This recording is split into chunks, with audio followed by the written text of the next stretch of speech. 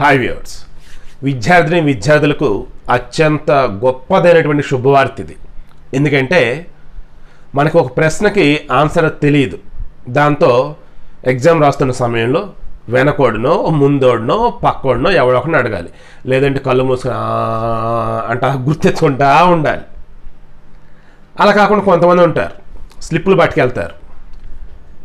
ఆ ప్రశ్నకి స్లిప్ వాడు తెచ్చాడు. బట్ ఆ స్లిప్ ఎక్కడ పెట్టుకున్నాడో గుర్తుండదు కష్టపడి ఎలాకలా కాలు దగ్గర తొడ దగ్గర మెడ దగ్గర ఏడకడ పెట్టి చివరికి మొత్తంగా స్లిప్ తీస్తాడు. ఆ స్లిప్ తీసిన తర్వాత రాద్దాము అంటే ఆ ప్రశ్నకి ఇదే బదులా కాదా? అండ్ మోర్ ఎవర్ చూస్తే ఏమైద్దో ఏంటన్న భయం.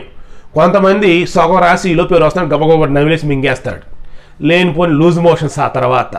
ఇలా చెప్పుకుంటూ పోతే పరీక్షలు రాసేటప్పుడు చాలా చాలా కష్టాలు. మీరు అనొచ్చు చక్కగా చదువుకొని రాసేవాళ్ళు లేరా అండి చాలామంది ఉన్నారండి. నిజమే చదువుకొని రాసేవాళ్ళు ఉన్నారు. బట్ క్లాసులకి అటెండ్ అయ్యి చదివినా సరే గుర్తు రాక ఇబ్బంది పడేవాళ్ళు లేరా? ఉన్నారు అలా కూడా.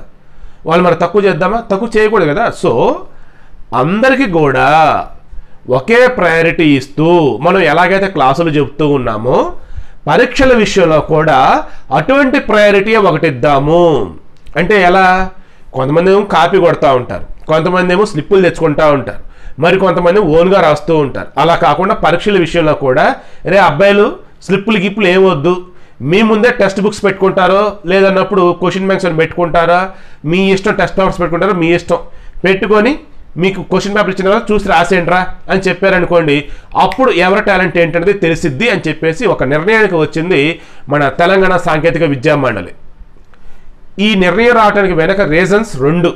ఒకటి క్వశ్చన్ పేపర్ కనుక కొంచెం క్రిటికల్గా కనుక ఇచ్చినట్టయితే అంటే కొంచెం కష్టతరంగా కనుక ఇచ్చినట్టయితే ప్రాక్టికల్ ఓరియంటేషన్ ఎక్కువ వేలు కనుక అందులో మెన్షన్ చేసి కనుక ఉన్నట్టయితే ఏ ప్రశ్నకి ఏ ఆన్సర్ అండ్ ఏ ప్రశ్నకి ఆన్సర్ ఎంతవరకు రాయాలి ఒక నాలుగైదు పేజీల్లో ఉంది ఆన్సర్ బట్ ఫస్ట్ పేజీలో వచ్చేసి పది లైన్లు సెకండ్ పేజీలో వచ్చేసి రెండు లైన్లు థర్డ్ పేజీలో వచ్చేసి మూడు లైన్లు ఫోర్త్ పేజీలో వచ్చేసి రెండు లైన్లు ఫిఫ్త్ పేజీలో వచ్చేసి ఒక లైనే ఉంది.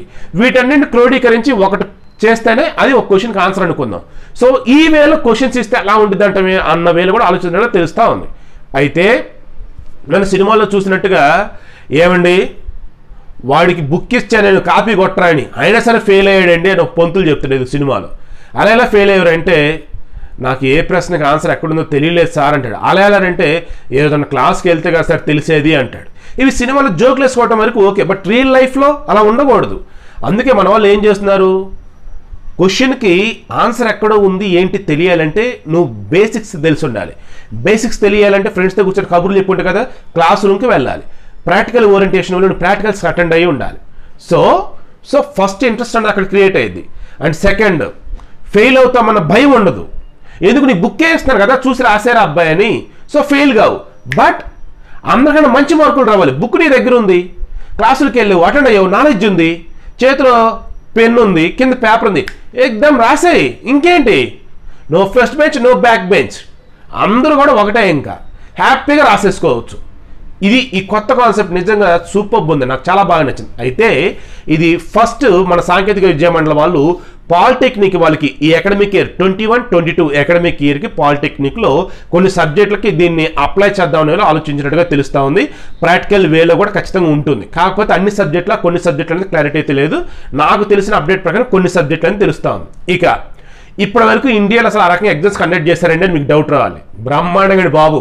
కోర్టులో వాదిస్తూ ఉంటారు కదా అడ్వకేట్లు వాళ్ళకి బార్ కౌన్సిల్ వాళ్ళు మెంబర్ అవ్వాలంటే వాళ్ళ ఎగ్జామ్ ఉంటుంది all India bar council exam అని చెప్పేసి. దానిలో క్వాలిఫై అయితేనే వాళ్ళు అడ్వకేట్ అనమాట సో ఈ వేలో ఆ ఎగ్జామ్లో చూసే రాసేయచ్చు. అండ్ గతంలో కూడా నాకు సమ్ టీచర్స్కి సంబంధించిన ఇంటర్నల్గా ఏదో ఎగ్జామ్స్ ఉంటాయంట. వాళ్ళు ప్రమోషన్స్ వైజ్. అప్పుడు ఇది బుక్ పెట్టి రాయొచ్చు అని చెప్పారు. అది హెడ్ మాస్టర్గా మరి ఏమో. నాకు అంత ఐడియా లేదు అది. బట్ ఈ బార్ కౌన్సిల్ అయితే ఫుల్ క్లారిటీ. సో కన్క్లూజన్ ఏంటయ్యా అన్నప్పుడు ఇది కనుక సక్సెస్ అయితే ఇంజనీరింగ్ వాళ్ళకి డిగ్రీ వాళ్ళకి కూడా ఈ రకంగా చేయడానికి ఇక్కడ ప్రభుత్వం ఆలోచిస్తామని చెప్తున్నారు. ఎందుకంటే ఇప్పటికే ఏఐసిటిఈ అండ్ యూజీసీ వాళ్ళు కూడా చెప్పారు. అయ్యా యూనివర్సిటీ వాళ్ళకి మిగతా వాళ్ళకి కూడా ఏమనంటే పర్లా దీన్ని ఓపెన్ బుక్ ఎగ్జామ్ అంటారు. ఓకే? ఈ ఓపెన్ బుక్ ఎగ్జామ్కి మీరు ఓకే ఉంటే హ్యాపీగా వెళ్ళిపోండి అని చెప్పున్నారు. సో ఆ వేలో ఫస్ట్ పాలిటెక్నిక్లో సక్సెస్ అవ్వాలని ఈ మన విద్యకు సంబంధించి ఎడ్యుకేషన్ వైజ్ సరికొత్త సంస్కరణలకి ఇది బీజం వేయాలని కోరుకుంటూ సరికొత్త రకమైనటువంటి విద్యతో సమ్మోహన మరిచే ప్రపంచంలో ఉన్నటువంటి యొక్క టాప్ మోస్ట్ కంపెనీలు కూడా ఇక్కడికి ఏంటి? వెల్కమ్ చెప్పే విధంగా మనోడు స్కిల్స్ డెవలప్ చేసుకుంటారని చెప్పేసి నమ్ముతూ ఉన్నా ఆ వేలో అంత ఫలప్రదం అవ్వాలని కోరుకుంటూ ఉన్నా as of now only polytechnic వాళ్ళకి ఈ twenty one twenty two two thousand twenty one twenty two year నుంచి. అండ్ ఆ తర్వాత రిమైనింగ్ కూడా పెట్టే ఛాన్సెస్ ఎక్కువ ఉన్నాయి. ఇది కనుక సక్సెస్ అయితే మాత్రం హిస్టరీ అంతే నో డౌట్ తెలంగాణ వాళ్ళు ఆ హిస్టరీ క్రియేట్ చేసిన వాళ్ళు అవుతారు. ఆబ్వియస్లీ మిగతా రాష్ట్రాల వాళ్ళు కూడా ఫాలో అవుతారు నో డౌట్